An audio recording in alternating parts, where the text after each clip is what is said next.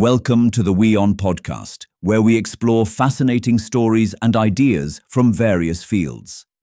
In this episode, we uncover how an oxygen overshoot on Earth 2.3 billion years ago should have wiped out most life, yet some resilient organisms survived, offering clues about our planet's ancient past and life's remarkable adaptability. Earth witnessed the Great Oxygenation Event around 2.3 billion years ago, boosting oxygen levels that allowed new life forms to take root. Before this, oxygen levels on our planet were on a much lower scale.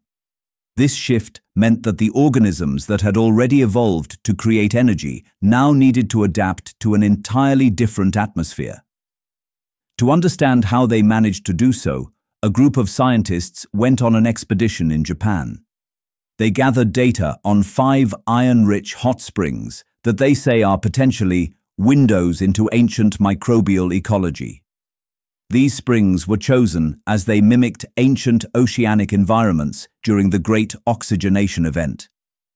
They could also provide insights into ancient microorganisms and how life could form on other planets.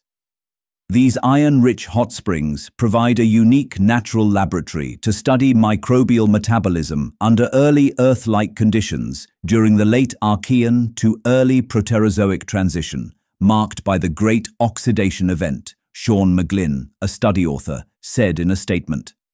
The researchers from the Earth Life Science Institute and the Institute of Science Tokyo found an element in these springs which is rare on Earth today. This element is what helped them survive the Great Oxygenation Event, scientists believe. They are naturally rich in ferrous iron and also have low levels of oxygen and a near-neutral pH. This is exactly what the environment would have been like on Earth during the megashift. The study authors note that these iron-rich ecosystems proved to be the main reason that helped the microorganisms make it to the other side despite a major change. Iron-oxidizing bacteria were found to be the dominant microbes in four of the five hot springs. Ferrous iron was the main energy source for the organisms, while cyanobacteria, which produce oxygen, were only sparingly found.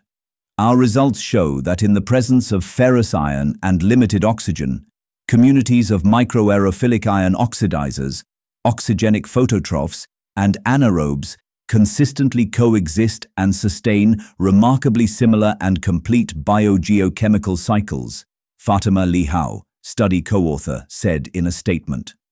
However, the fifth hot spring threw up completely opposite results. At the fifth site, non-iron-based metabolisms were found to be dominant.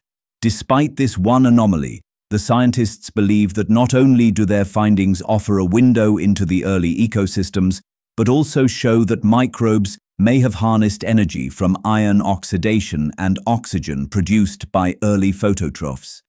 Thanks for tuning into this incredible story. If this episode resonated with you, don't forget to hit the like and subscribe button for more captivating stories to come. Stay tuned.